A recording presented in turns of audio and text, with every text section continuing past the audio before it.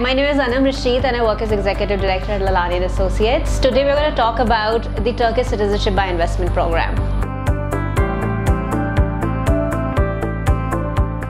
Turkish Citizenship by Investment Program is basically a program in which uh, you have to make uh, an investment in property.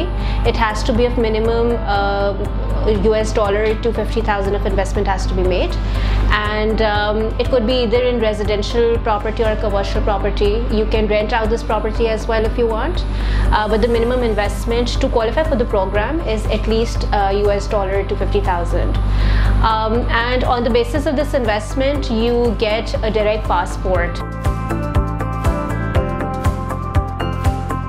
So the process of the program is pretty simple. Uh, once you've made the required investment, um, you have to initially file for a permanent residence application and once a permanent residence application is approved, you can apply for your citizenship directly. And this program uh, you, you actually get the passport within four to six months.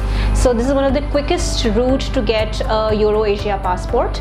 And uh, we have been dealing with a lot of other programs and this is definitely one of the quickest way to have a direct passport. And also the uh, minimum investment of $250,000, it has to be maintained for three years. And after three years, you can dispose of your property and you will still can hold your passport and there's no other requirement other than uh, holding your minimum investment of $250,000. The eligible family members under this program uh, is of course the principal applicant. You can include your spouse in the application and you can also include all the children who are under the age of 18 years. Unfortunately, children who are over the age of 18 years do not qualify for the program.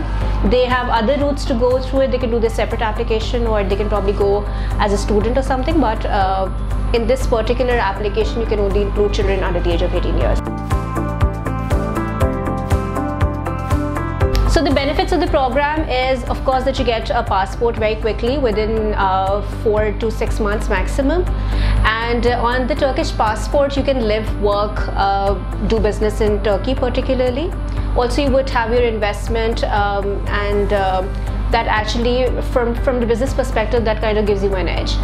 Uh, other benefits of the program is that once you have the passport uh, it allows visa free travel to around 115 countries which includes um, a lot of Asia European uh, African countries it has uh, Malaysia Singapore Thailand is included UAE Qatar there. So so actually there are like a lot of 115 countries worldwide which allow visa free access.